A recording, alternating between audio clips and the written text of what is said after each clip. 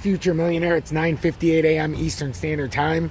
I wanted to go over a couple that we don't often tap into on my show, even though, as I told you, when the ISO flip becomes closer, we're going to start talking about our ISO queens more. We're having a slight run up, like we've been talking about. This little push up after that correction yesterday.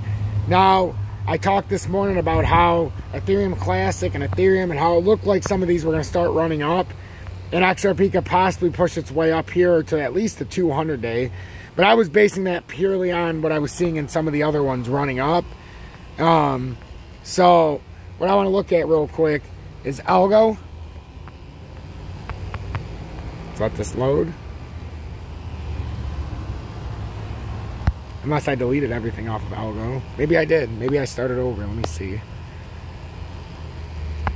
Well, that's IOTA. No, I was going to say I didn't think so. So Algo, we're in a descending triangle, and we've played it beautifully so far. It's come down pretty nicely. Um, it may not be 100% depending on what time frame you're looking at, but I might have, I believe I did this around the daily. This got pulled out a little bit, so I'll just fix that. Okay, so that's essentially what we're in. And then we've got this uptrending uh, support that we've created on this little move up. It's nothing like holy crap, it's a life-changing moment. But as long as we hold that uptrend, you know. But all that's doing is coming from the bottom of support to the upper resistance.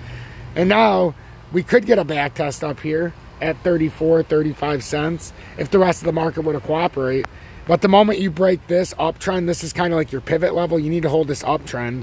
Otherwise, you'll just come right back down to the bottom of the formation. So pay attention to that with algo. And we have a very strong uptrending resistance line that used to be a support line. So in order for us to actually get back to the bullish side on algo, we have some work to do and get we got to get back to 55 cents, which would be an incredible move. But the Fed meeting, they're going to start talking today, ends tomorrow, and we're going to know the height, the rate hikes and everything else. So this looks like a short-term reversal but like I said yesterday, can we get past the 200 day on any of these? I think we're going to run up to the 200 day in the 30 minute time frame, and that's what we're going to have to hunt for. So with algo, if that's the case, the 200 day you're looking for 3216 area, and then we'll see how it reacts there. A lot of the market's probably going to do similar things. We've got IOTA that looks to be seeking the 200 day at minimum, which is at 2841. Uh, what I don't know what happened to my IOTA stuff, unless it's taking forever to load up.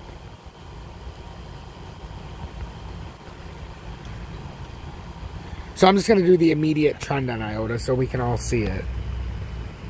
But I still feel like they're hunting, like I was saying yesterday, the 200 day seems to be what they're seeking out here. And that downtrending resistance in the 30 minute time frame is perfectly on the 200 day. So it almost seems like we're getting some confluency here on some of these. And then just like I showed you with Algo. Whoops. What is going on here? Why does it keep...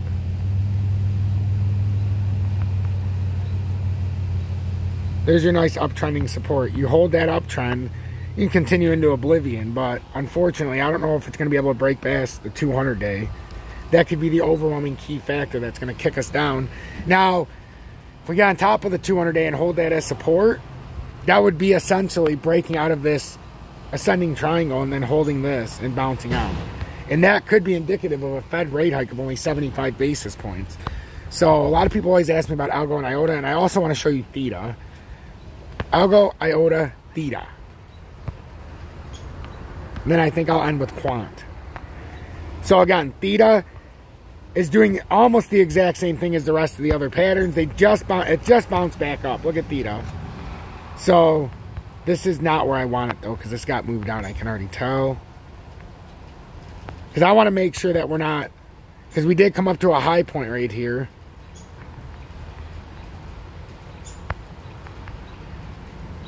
So this is our initial high point.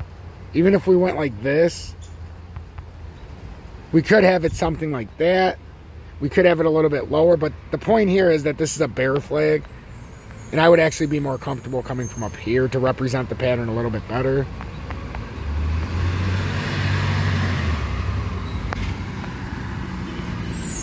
So we've got this bear flag right here. So is this an M top in reversal? Are we going to come back through the 20? And if we do, are we going to get rejected at $1.24? Can we come up to the pattern formation of $1.31.5 roughly? Actually, it's a little bit lower than that. Oh yeah, that looks a lot. I like that a lot better. Oh yeah. Oh yeah. So if we can get past $1.25, maybe we can push up to the pattern formation of $1.30. That would be the downtrending resistance. And we have slightly uptrending support.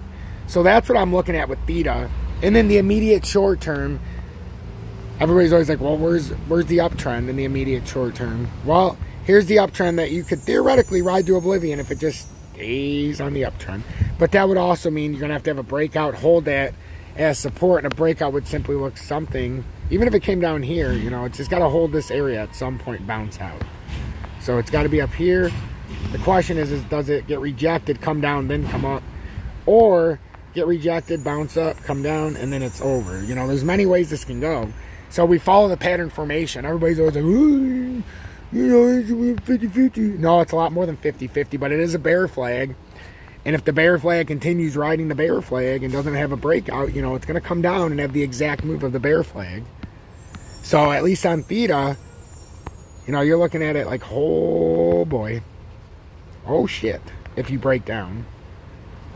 Let's just say it did come over here and it played the pattern beautifully until the end of September. Do you see the technical target would be 11 cents for theta? Now we would hope to God that the rejection would come somewhere like that and then the overwhelming move would be like 39 cents. But if it doesn't do it there and the bear flag plays all the way out, you know, you get theta way down here at 7 cents. So those would be doomsday numbers. Hit that motherfucking like button.